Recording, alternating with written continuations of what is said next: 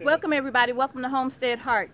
And today I'm going to give you a tour of our setup for processing our meat birds. Hopefully this will be a really simple video, um, quick video, but I just want to show you all how we're set up to process our meat birds and then we'll probably in another video share with you how we're doing our processing as well. So y'all stay tuned. Let me take you on the quick little tour. It's not nothing, you know, extravagant, but it's what we are working with. And so I'm going to show you all what we're doing.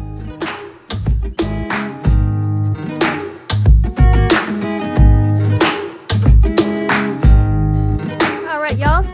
So there's Mr. Homestead Heart. How y'all doing today? Man, a few words. So let's go ahead and get started. So first we have outside our brooder. We brought the brooder out here to the barn. We we are separating the chickens away from the actual processing station because we don't want them to be able to see exactly what's going on. You know, I just think that would be like a nightmare for them to actually see what is happening or what is about to happen.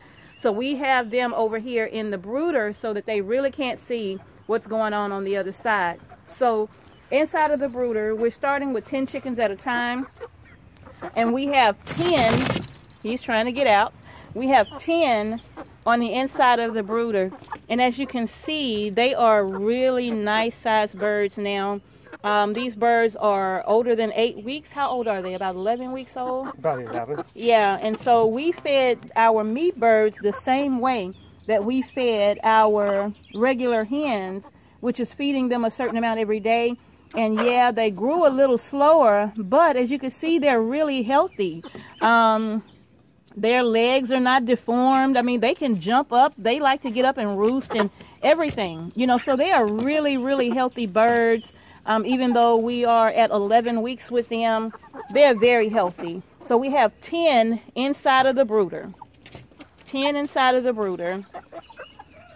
And this is where we're going to be pulling the birds from. And so we're going to be bringing the birds from the brooder over here. Let's walk over here.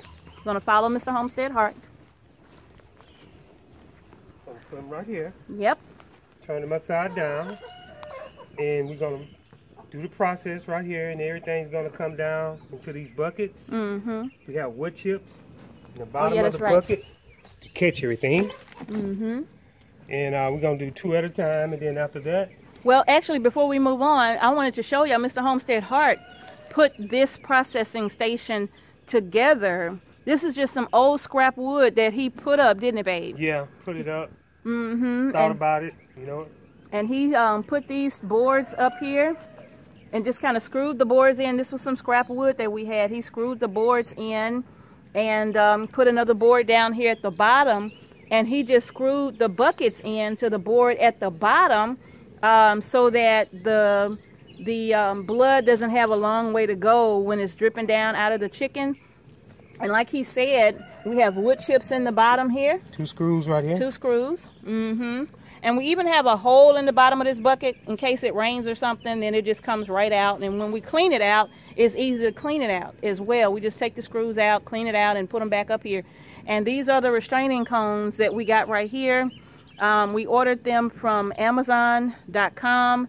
And um, so we got these two cones. It would be ideal to have um, between five and seven, but this is all we could afford for right now was these two. Right, Mr. Homestead Heart? Yes, that's All right. right, so- we working with whatever we can work with. We're doing it the best way we can, Mm-hmm. and we're gonna start out small, and then we're gonna grow. That's right. All right, so we're coming on down to the end of this station. And look at what we have here. All right, so we have our plucker right here. Yep, we have our plucker. And with this plucker, you saw the video that we did where Mr. Homestead Heart did a fantastic job putting this thing together. This thing was not easy to put together, and he did a fantastic job. He was so patient with this process. I know I couldn't have done it. But he did a good job of doing this. And the way that he has the drill up here, he put two pieces of um, just scrap wood up here to kind of give some stability to us hanging the drill up. And he, what is that, babe? Plumber strap? Yeah, plumber strap. And he just put some plumber strap up here to hold the drill in place. And he just screwed the plumber strap down to the blocks of wood. And that is holding the drill up so that one person can pull the trigger and the other person can stand and hold the chicken while we do the plucking. Okay. All right, and we're moving on to the next part of this. Scalding. Mm-hmm. This is what we're gonna dip the birds into to break the feathers down and make them loose. Mm-hmm. And we're gonna take take it from the scalder. Then we're gonna bring them over here, and then we're gonna uh, take the feathers feathers off with with the drill. That's right. I forgot about that. Yeah. I got a, a step ahead. Yeah. So we have our thermometer inside of the scalder here to kind of keep our temperature, keep us on track with what the temperature should be, okay? All right, and we're moving on to this part right here. Now this table right here, this is the place that we're gonna be doing all of the evisceration. As you can see, Mr. Homestead Heart has his gloves here for actually dumping the chicken in the hot water so we don't burn those precious hands, that's right.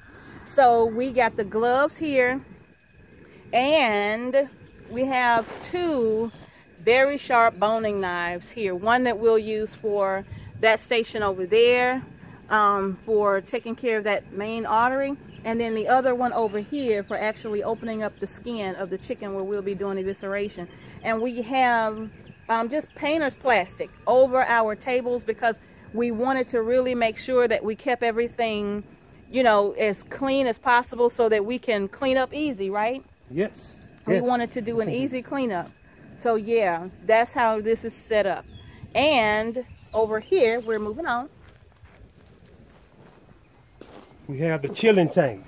Chill tank. Chill. This is where we're gonna put ice into the uh, bucket along with some water.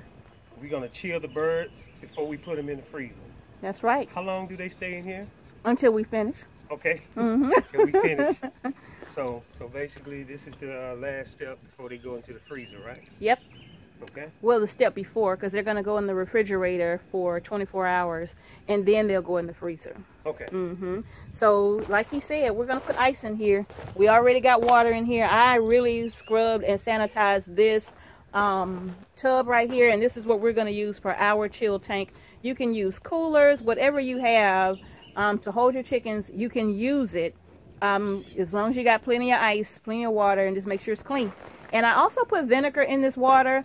Um, anytime I cook chicken at home, I like to put the chicken in the sink with some a little bit of vinegar in the water, and that just kills any bacteria that may have been on the chicken.